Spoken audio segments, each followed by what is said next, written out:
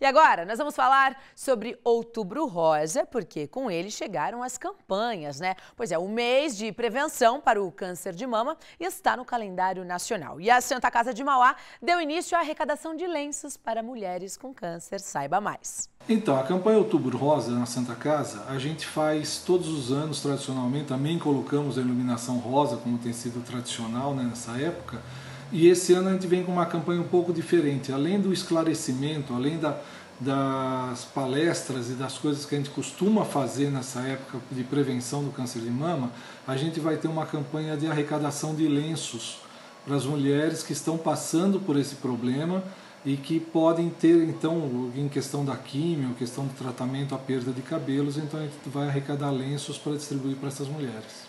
Essa arrecadação vai ser feita aqui na Santa Casa e nas instalações da Santa Casa, né? na, no ambulatório 1, no ambulatório 2, na própria Santa Casa e lá na Policlínica do Plano de Saúde também.